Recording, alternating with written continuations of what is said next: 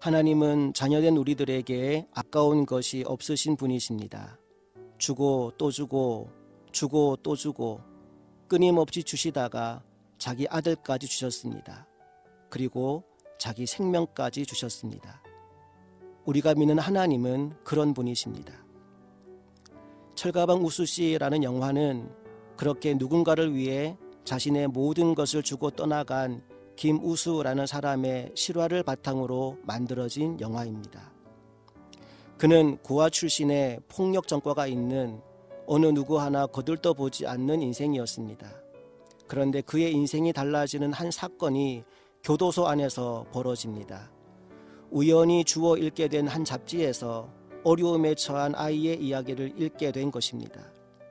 그 이야기를 읽어가다 문득 힘들었던 자신의 어린 시절이 떠올랐고 그 아이를 도와주고 싶다는 생각이 들었습니다.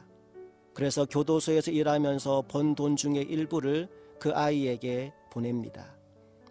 그리고 며칠 뒤 그에게 편지 한 통이 날아옵니다. 바로 그 아이가 보낸 감사 편지였습니다. 그 편지를 읽던 중에 감사합니다라는 그 말 한마디에 김우수 씨는 밤새도록 통곡을 합니다. 살아오면서 어느 누구에게서도 그런 인사를 들어본 적이 없었기 때문입니다. 교도소를 출감한 뒤 그가 할 수 있는 일은 많지 않았습니다. 전과자 출신인 그를 받아주는 곳이 별로 없었던 것입니다. 그러다가 결국 중국집 배달 일을 하게 된 그는 어느 누구보다도 성실하게 주말 알바까지 해가며 열심히 일을 합니다. 자기 자신을 위해서가 아니라 더 많은 아이들을 후원하기 위해서였습니다.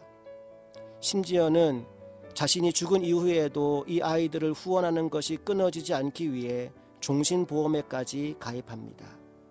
그리고 자신의 신체는 장기기증본부에 모두 기증을 하고요.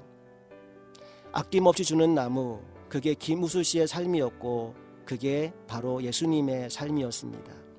2011년 9월 23일 김우수 씨는 배달 중 불의의 사고로 사망하게 됩니다.